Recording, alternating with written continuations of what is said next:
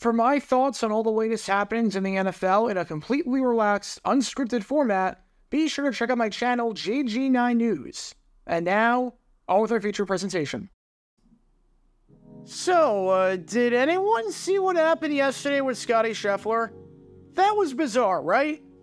For those who have no idea what I'm talking about, allow me to briefly explain. Scottie Scheffler is the best golfer in the world as of this very moment.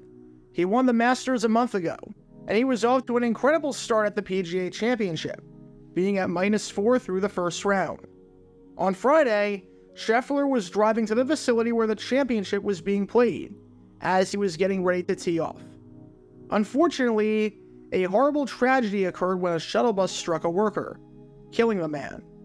Because of the heavy rains in the incident, police decided to close off the road outside the golf course and pushed back the start time of the second round by an hour and 20 minutes.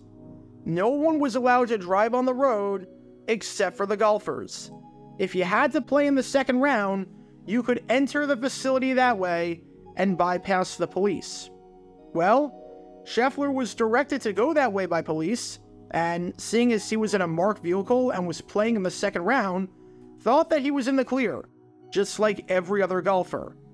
However, an officer attached himself to Scheffler's car, thinking that he wasn't a golfer and that his vehicle didn't have permission to do this. Scheffler then was asked to step out of the vehicle, and as he was complying with the request, he was yanked from his car and was detained and arrested. Scheffler now faces charges of second degree assault of a police officer, third degree criminal mischief, reckless driving, and disregarding traffic signals from an officer directing traffic. Scheffler was released from the jail just an hour before he was set to tee off, as he was literally going through his warm up routine in the holding cell to stay loose. And amazingly enough, Scheffler actually shot minus 5, putting him in a tie for fourth heading into the weekend. So this didn't impact him in the slightest bit from a performance standpoint. We'll see how many of the charges stick, but there will definitely be lawyers involved. A lawsuit is probably going to happen, and everything about what happened on Friday was absolutely hectic, absolutely chaotic, and was a horrible look for the golf course and for the city. It was also one of the craziest things we've ever seen in the history of golf. I don't think that's hyperbole or recency bias. I mean, the number one player in the world getting arrested as he's literally trying to enter the golf course? Seems insane to think about, and seems like something that has never happened before. Well, I bring up the Scottie Scheffler incident because, amazingly enough, this was not the first time in sports that a player was arrested by police trying to enter the facility. Life's a funny thing. You think you're pulling into the facility to play, and the next thing you know, you're dealing with the police and you're in cuffs and you're arrested. Because in 2001, that's exactly what happened with this man right here New York Jets safety Damien Robinson. In 2001, prior to entering Giants Stadium before a game, Robinson was arrested and his life was flipped upside down. And we're set to break that incident down today because this is the story behind Damien Robinson, as in the player on the Jets who was arrested while trying to enter the game. Before I talk about the actual incident in question, we need some context to understand just who Damien Robinson was, and the importance of the game at hand, as well as how the game was going. It's October 14th, 2001. It's week 5 of the NFL season, and we've got a big divisional game on our hands over at Giants Stadium in the Meadowlands between two AFC East rivals, the New York Jets and the Miami Dolphins. For the main team in our story, the Jets, this felt like a pretty big game for them. New York entered this one at 2 and 2, and with the Miami Dolphins atop the division at 3 and 1, a loss here could be absolutely detrimental from the standpoint of keeping up with them for the division crown and a possible home game in the playoffs.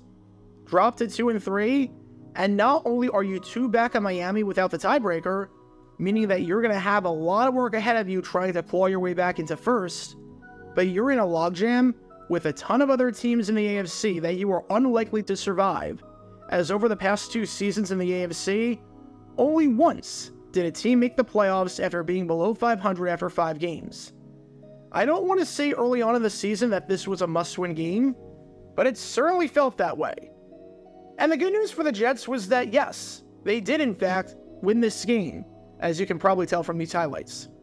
When the final whistle sounded, it was the Jets who emerged victorious, taking it over the Dolphins by a final score of 21 to 17. Obviously, the game was not as good as the last time the teams met at Giants Stadium in 2000 during one of the greatest regular season games and Monday Night Football games of all time. But the Jets did pull off another incredible comeback, as after trailing 17 0 at the half, they score the final 21 points of the game in the second half, thanks to two touchdown passes by Vinny Testaverde to Laveranues Coles, and a touchdown run by Curtis Martin sandwiched in between there on a day where the future Hall of Fame running back had 120 yards on nearly 6 yards per carry. At one point, the Jets scored two touchdowns in a span of 24 seconds, and the defense did its job and then some, forcing four turnovers and holding Miami to no points and 98 yards of offense over their final six drives. The Jets outgained the Dolphins a whopping 283 to 98 from a yardage standpoint in the second half, nearly tripling Miami's output in that department.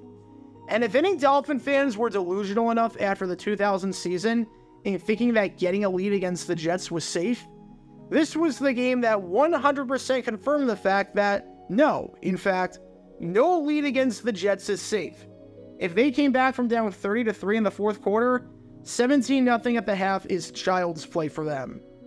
So this was a great game for the Jets to put them above 500 and put them on the right track to make the playoffs for the first time since 1998 and just the second time in the last decade, right? Well, not entirely. Because despite the 17 point comeback, despite the great win against a divisional opponent, and despite the significance of the scheme, it wasn't all sunshine and rainbows for the team. There was a fair amount of controversy. Because we need to talk about this man right here.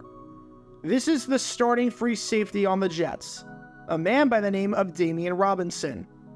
After spending the past three seasons in Tampa Bay, where new Jets head coach Herm Edwards was on the staff, Robinson came over to the Jets during the 2001 offseason in free agency, and the Jets had high expectations for the man, seeing as Robinson started in all 16 games for the Bucs in 1999 when they had a great defense and made it to the NFC Championship for just the second time in franchise history. And he also started all 16 games in 2000. In fact, during that 2000 season, Robinson had six interceptions, which was seventh in the entire NFL and would have been the most on the team for the Jets. If the Jets could add another ball hawk at safety to pair alongside Victor Green, on paper, that could be one of, if not the best safety combinations in all of football. Robinson signed a five year, $10 million deal to join the team. And if that might not seem like a lot, keep in mind that the salary cap in 2001 was $67.4 million so he took up 2.9% of the cap. Today, the cap is at $255.4 million, so that would be the equivalent of $7.6 million per year, which would make him one of the highest paid safeties in football. He's in the top 25% amongst all starters. You get the idea. This man was good, or at the very least, was supposed to be good. The Jets needed him, and didn't need him getting himself into any trouble but they could not have foreseen him getting into trouble, quite literally, as he was entering the stadium for the game.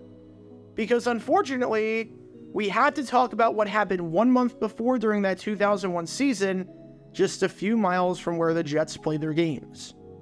On September 11, 2001, the deadliest attack on American soil occurred when four planes were hijacked, with two of the planes hitting the Twin Towers some of the most iconic buildings in New York City, where thousands of people worked.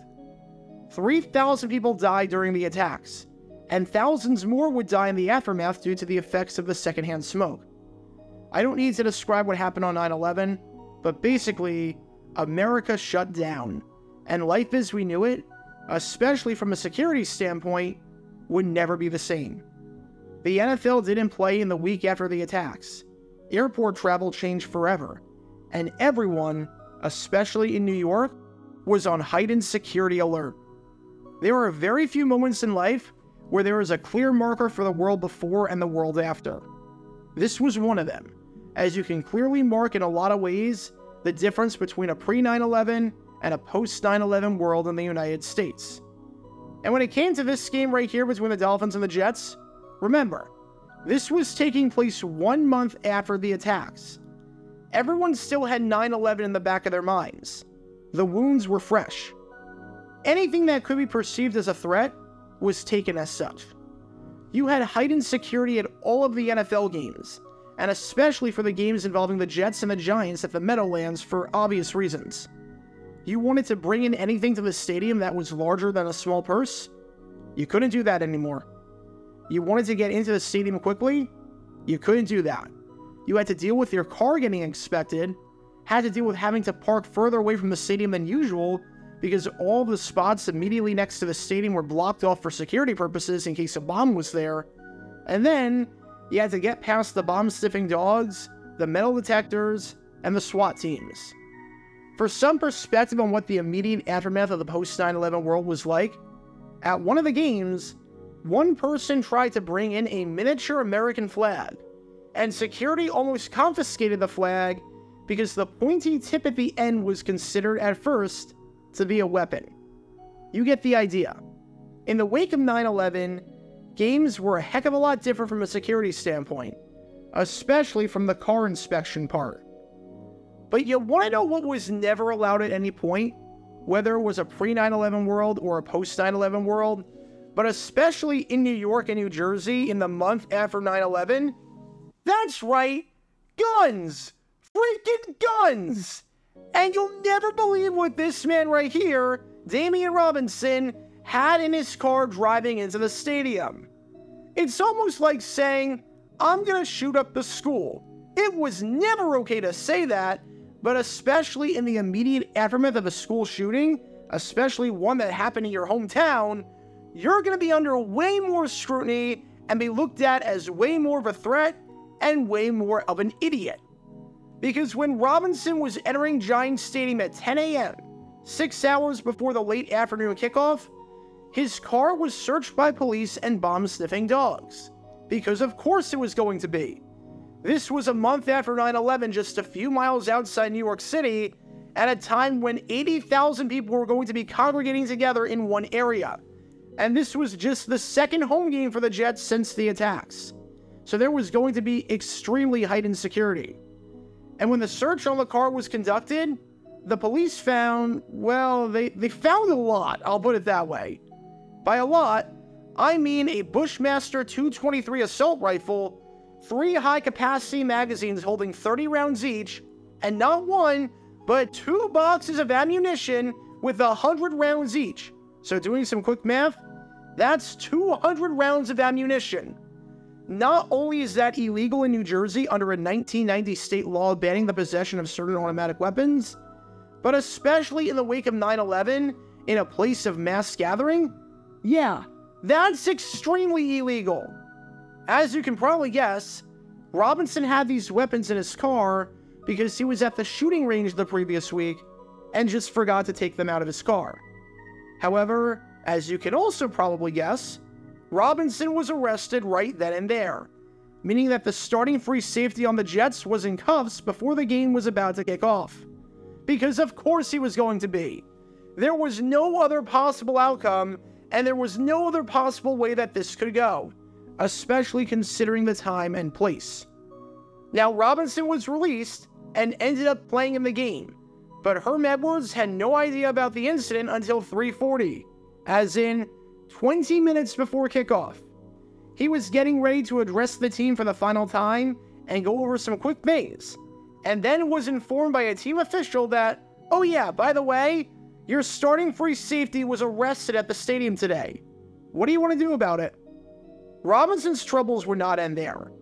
Robinson was fined $30,000, so a week of pay, and he had to undergo community service and counseling. He was not suspended by the Jets, nor was he suspended by the league, because in the eyes of Herm Edwards, he just made an honest mistake. And it sure seems that way.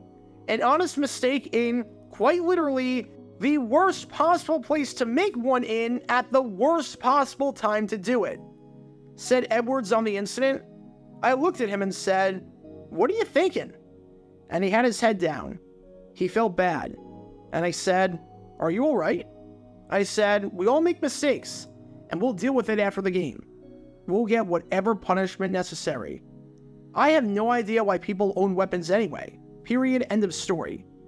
However, if you know Damien or know anyone with any kind of sense, to me, it's an honest mistake.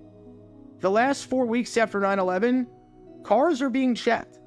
You have policemen and patrolmen with rifles and guns, and you know they're going to check your car. And he drives into the stadium with his wife and two kids. They go back there and they find it, and he goes, Oh no. That's the story he told me. Obviously, he made a mistake. I've got to believe Damien and the story he gave me.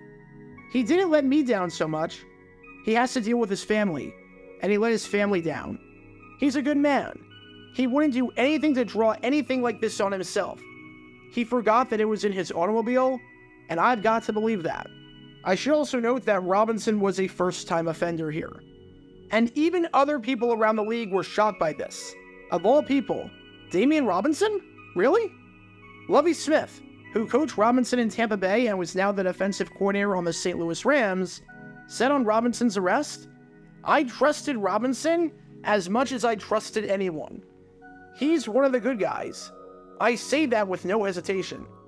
He's not one of the bad guys that we have to worry about in this league.